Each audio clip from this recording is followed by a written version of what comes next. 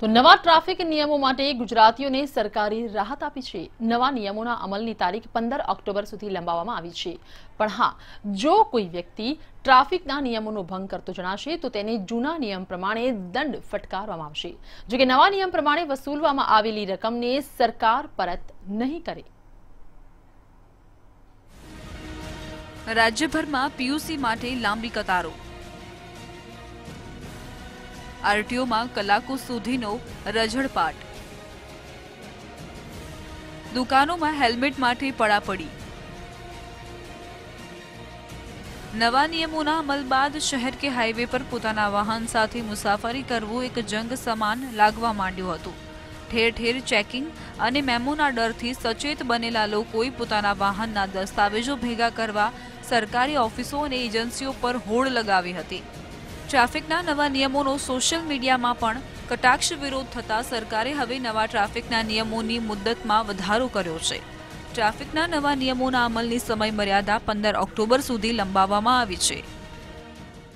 Helmet આટલા ઝડપથી હેલ્મેટો ઉપલબ્ધ નહીં થાય, લોકો હેરાન થઈ રહ્યા છે. તો એ વાતને અમે હકારાત્મક લઈને પંદર સપ્ટેમ્બર છે તો પંદર ઓક્ટોબર સુધી એની મુદત લંબાવવા માટે આજે માનનીય મુખ્યમંત્રીશ્રી અને નાયબ મુખ્યમંત્રીશ્રીની આગેવાનીમાં કેબિનેટમાં ચર્ચાના અંતે નિર્ણય લેવામાં આવ્યો છે. કેબિનેટની બેઠક બાદ નિયમમાં રાહત આપવાની જાહેરાત કરાઈ છે. પણ હાલ જો કોઈ વ્યક્તિ ટ્રાફિકના નિયમ તોડશે, તો તેને જૂના નિયમ પ્રમાણે દંડ ફટકારવામાં આવશે. જો કે સરકારે અત્યાર સુધી નવા નિયમ પ્રમાણે જે દંડ વસૂલ્યો છે, તે પરત કરવામાં આવશે નહીં. નિયમોમાં રાહતથી વાહન ચાલકોને હેલ્મેટ ખરીદવામાં સરળતા રહેશે. તો ખાસ કરીને પીયુસી કઢાવવા માટે વાહન ચાલકોની કતારો જોતા સરકારે રાજ્યમાં નવા નવસો પીયુસી સેન્ટર ખોલવાનો નિર્ણય કર્યો છે.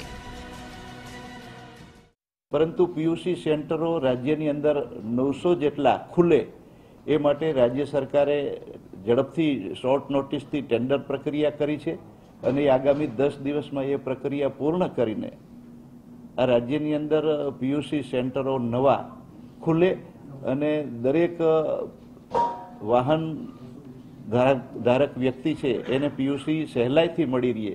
એ માટે બીજા વધારાના પંદર દિવસની મુદત લંબાવવાનો પણ આજે કેબિનેટે નિર્ણય લીધો છે.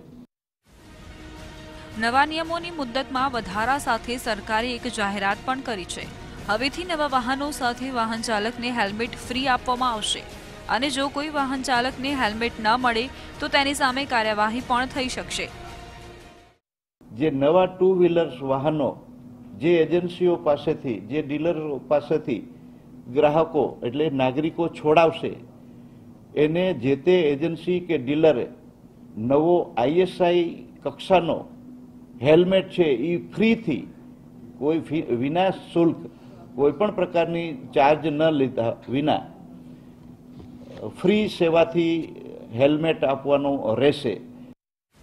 નવા નિયમો માટે વાહન ચાલકોમાં જોવા મળેલા રોષને પારખી ગયેલી સરકારે રાહતના નામે અમલની તારીખમાં ફેરફાર કર્યો છે.